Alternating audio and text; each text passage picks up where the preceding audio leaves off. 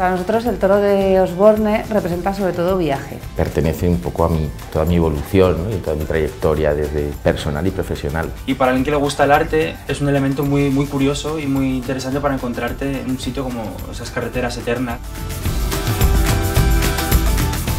Representa a España, representa la vuelta a mi país. Pero esa idea de España eh, como luminosa... Creo que es algo ya nuestro, que lo tenemos como casi de la familia.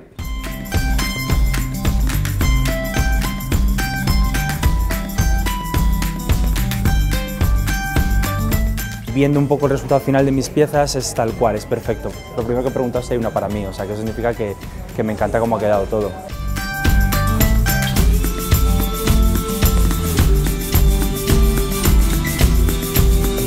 una reinterpretación del toro y bueno, llevándolo a mi universo. ¿no? El, símbolo es tan fuerte que yo creo que cualquier cosa que sea estéticamente muy femenino, pues la combinación es, el resultado es muy bueno.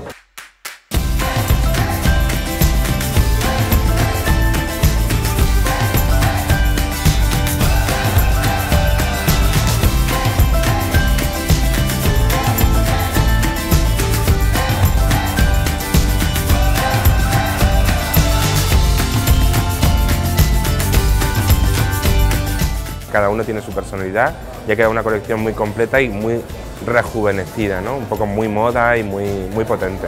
Además es súper marcado el estilo de cada uno de los diseñadores, pero al mismo tiempo toda la colección ha quedado totalmente homogénea. Seis diseñadores españoles van a transformar el mítico toro de Osborne en pura moda. Los artistas unen su trabajo y su inspiración, Lara, en la famosa nuestro país.